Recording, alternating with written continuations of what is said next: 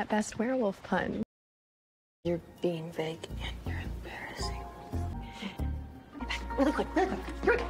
My dad actually thought that I should talk to you instead. Why they both thought it should be me. I did terrible things to the people that I love. I was told that Malivore took you. That's great. Cute.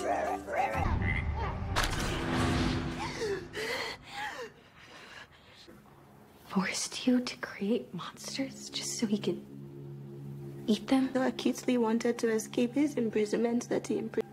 How?